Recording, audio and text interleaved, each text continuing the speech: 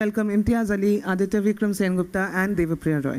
Thank you. I'm sorry to hold back the session even further for all those interested. Uh, Sarnath will be signing books at the story bookstore in Mohor Kunja. Thank you. Hi, is this morning or afternoon? afternoon. Okay. So here's Dev Priya, and she has her, her life I'm- sorted.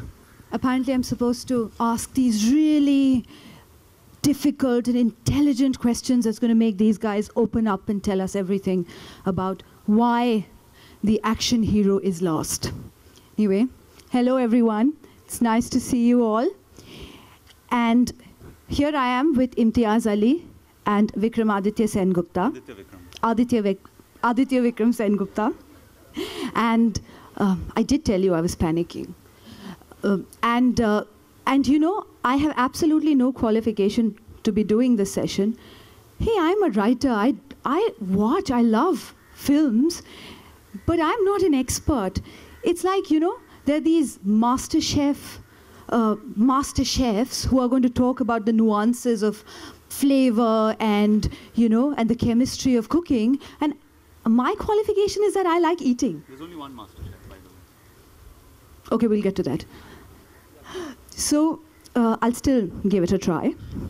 Now, you do know our uh, topic. It's the lost action hero. Are Bollywood or are, are our Hindi film heroes fighting less and talking more? Why and how? But before we get to that, I was thinking. Hang on. Okay, now I can see both of you. So before we get to that, I was thinking if we, if we could talk a little bit about action heroes of yore that have influenced you, that you remember from your past. Because I think one of the things about uh, Hindi films is that our appreciation of films is as important as all the stories that have been handed down orally. For example, my grandmother told me that my father watched Sholay 49 times in the hall. And the first time I watched the film, there was that little thing, that little nugget influencing me. So, can we back up a little bit and, and talk about that? You know? Your favorite action heroes while you were growing up? Were there any? Do you dispute See- the concept? See, I don't need to think about this because my favorite action hero was uh, Mithun Chakraborty. And my favorite film was this film called Param Dharam, where in the end he takes out a huge wheel from the thela and he turns it around and he throws it at the villain. And I remember renting that VHS from the guy who would come to rent VHS in our house.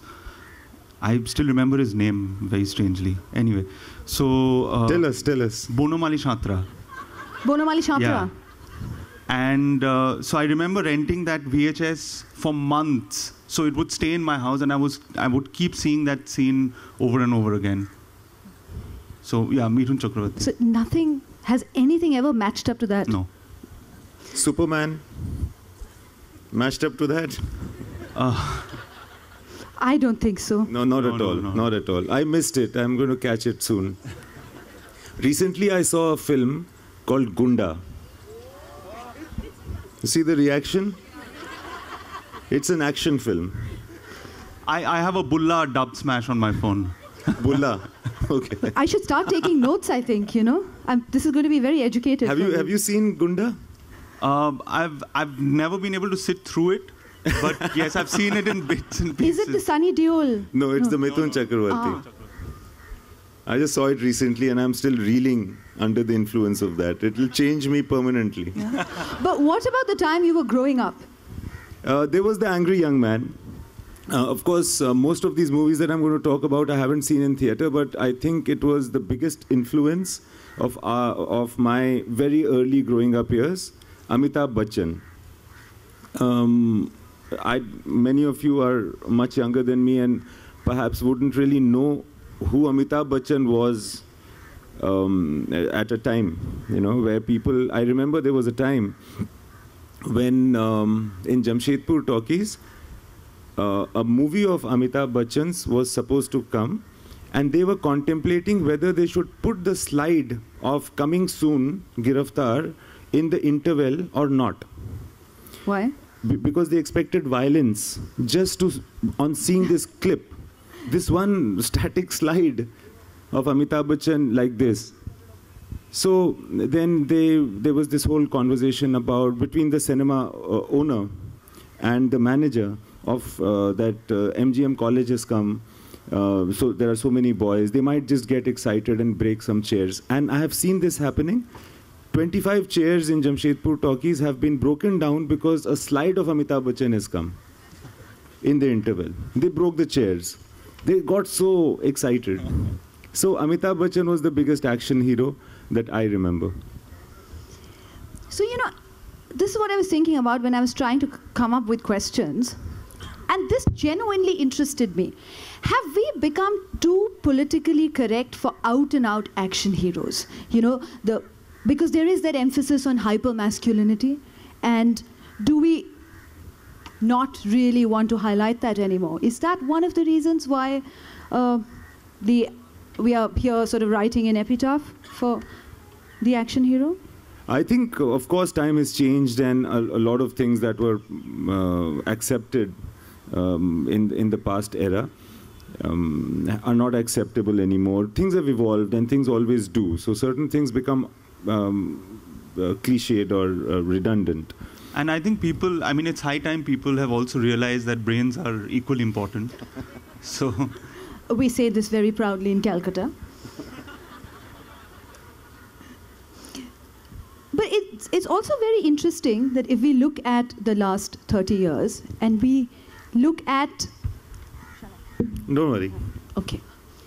So if we if we look at the last 30 years and we see the transition of the Hindi film hero, we have the angry young man, and then somehow I think mm, from the mid 90s, as globalization really kicked in and the growth story was more important, the angst of the angry young man was replaced by a, a more you know, upwardly mobile protagonist. So it, it's, it's interesting if uh, that, is, that is one of the reasons for the decline in the traditional action hero, because it, it's, it seems interesting to me that Hollywood, on the other hand, has gone far towards the superhero franchise movie where it's all action and there are these huge mega budget films. So the, uh, the, the logic in my head is that, that post recession, once um, your turbo capitalism has taken that hit, the, the dystopian, the dark uh, America that they show in all these superhero films at the brink of disaster and then needing superhero intervention to fix it, perhaps leads me to think that maybe, you know, it's also a, a cycle and we are at that stage now where we want to highlight other things, but we'll probably come to it once, uh, you know. Well, I'd like to say that, of course, yeah, politics uh, um, and and the time and the society and what's happening over there definitely has influenced Hindi films. Um, from the time that I can kind of put things together, uh, I feel that even the angry young man was a product of his times, because um, I think India was going through a certain internal disappointment. Right. Uh, post. Uh, Post the heyday of nationalism. yeah, post the heyday of nationalism, it was going through certain um, some misconceptions about the freedom struggle, etc. Were were changing, and hypocrisy was coming into the society Right. because we didn't know whether to believe in the great lofty stories that we've been told about our partition, Uh, etc., etc., and um, our independence struggle, etc. So there was an internal anger. They felt that the promise. Um, has not been lived up to Right. and we are not so that anger i think manifested itself in the angry young man and people really lapped it up And there that's was just one example yeah, there was also the emergency. There was the Naxal movement in, in, in eastern India. So there was a lot of sort of uh, reason behind that rage. and, and it was difficult for them to vent it out also because there was no Temple Run and Fruit Ninja. So, there was a lot of pent up. Yeah. Yeah. So that was go- that was actually going to be my, uh, you know, one of my questions.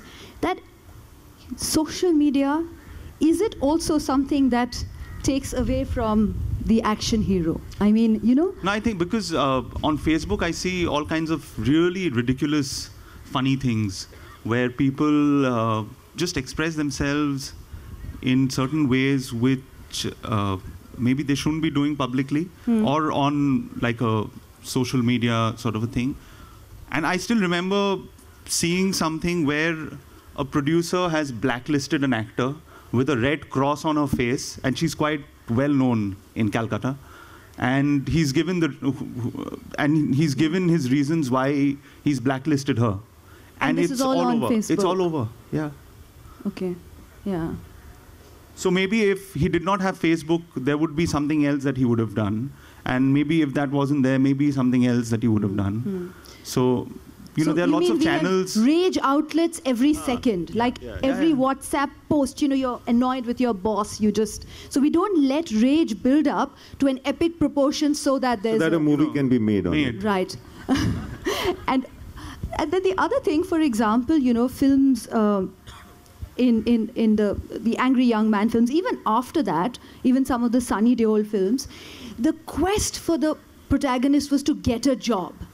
I think now we are at that stage when, as in Tamasha, you know, you chuck that job and you go and get a get a life. So in in in many ways, this shift too of uh, of of discovering yourself, a luxury of sorts, which is now, it seems available to a very large number of young people. But this is something that I don't understand, so I want to ask you is the influence of the multiplex uh, audience a big factor in because they probably don't like action films as much I, I won't be able to answer that question really because uh, I'm, I'm really not an expert on how audiences think and what they want. But I think uh, there are a few makers who've assumed that the audience does not really understand uh, content and they create the kind of cinema which uh, you so there is commercial Bollywood cinema which is a genre by itself like Sholay or Deewaar and it had all the commercial elements but at the root of it it had a very very strong story. Yes. Which, uh, according to me, this is my opinion, which, according to me, is say about 60 70% of the battle already won. But then there are a bunch of makers who think that Salim Javed had been wasting the time doing that because you don't need that story. You only need the item song, you need the action, and you'll have a masala packed film for the audience, and they'll eat it. But I don't really think that's the case because I don't think they want to be considered uh, passive uh, receivers of you Yeah. know this formula what about you imtiaz what do you think I agree with what he's saying for sure. And uh, as far as the multiplex mm, uh, mushrooming situation is concerned, it's a chicken and egg. It's one thing calls for the other. Um, but the multiplex also allows you to watch the film with greater concentration, with better sound, uh, in a more controlled atmosphere. So you can enjoy the cinematic experience in a different way. Um, watching a film in a big on big screen in old-fashioned theaters is like a picnic. You know, it's the jing bang is there. People are laughing, commenting, whistling. People are talking across the theater to each other. It's a it's a party going on. they're Um, singing aloud they're singing they're aloud. talking at the screen and also they are dressed up like the matinee idol. They wear uh, the hairstyle changed uh, in Jamshedpur when Mithun's films were running. You know, people started uh, g- got rid of their sideburns and made the hair in a different way. So uh, many of the people. Um, so people coming to watch your film would think they are Mithun Chakravarti or Amitabh and all that. So that's entertainment as well. There's nothing, there's no harm.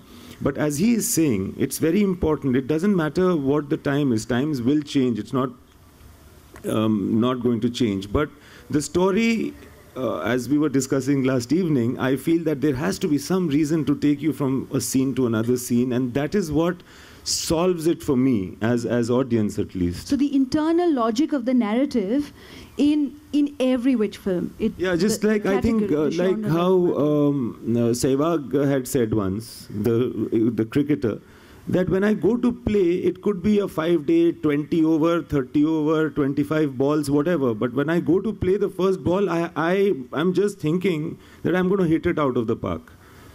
So your job as a our jobs as a storyteller will always remain important, no matter what the format is was that was not even the question you asked, yeah, right? I mean, you know, you're you're in a in the better position to tell us, but about the economics behind it. Is there pressure on the filmmaker that you know, um, or or do you actually even look at figures that okay, so this is what the urban multiplex is multiplexes are earning. This is what is are the collections elsewhere. no, I get a little confused when I get into figures too much, but there is an overall story. It is it is um, very impractical and quite stupid to assume that if somebody is putting money making a movie, they don't want the money back. Obviously, they have wanted back, and uh, you as a as as a filmmaker are are here to make your movie and ensure that the money comes back. At least that you have to uh, keep in mind. Then there are going to be numbers. Some people are given to understanding them. I can't understand them beyond a point of time. But I do understand that uh, I, I try to interact with people as much as I can. I'd, and I'd like to, um, for them to um, engage and, and be affected by the movies that I make or get entertained by the movies that I make. That is one, almost an illogical calculation that I have in my mind. So basically, both of you do agree with, with what is sort of the motion of the day that uh, the action hero is is is on on the wane, or would you? See, I really think that, uh, I mean, when a person is getting angry, there needs to be a motivation, right?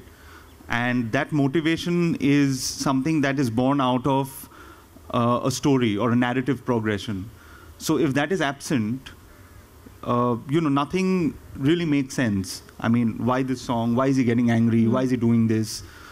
Uh, So so I feel that the the the root of it is uh, in the writing and in in creating newer stories or creating stories that would be developed into you know films and give characters the certain you know the kind of motivation and things like that and uh, yeah so i uh, so there ha- uh, you know we don't get to see action heroes too often right now but uh, of course, Airlift is releasing today, and it might just be a big hit, and then you know we'll have to visit all our. I think the answer of this question is very simple, and this whole um, conversation can be j- just uh, summed up in a line. And that is that yes, there is a fall of the action hero in Hindi, Hindi films. For sure, there is. And uh, but we are trying to give to the audience bit by bit so that we can live up to our reputation of finishing the duration.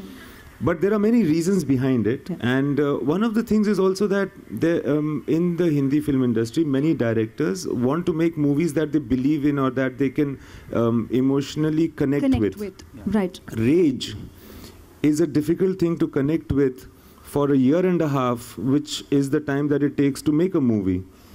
You know, you feel enraged, but for how long? Yeah. There has to be a deep, sustaining reason for which which supplies you with that rage, and these reasons reasons are usually not personal These reasons are necessarily are sociological. bigger, they are social. They are there's something which is amiss, and it, it angers me each time I uh, you know go through that path. So uh, those actually the outlook also of the country has changed a lot. What happening is that there are personal, uh, so-called selfish solutions to problems.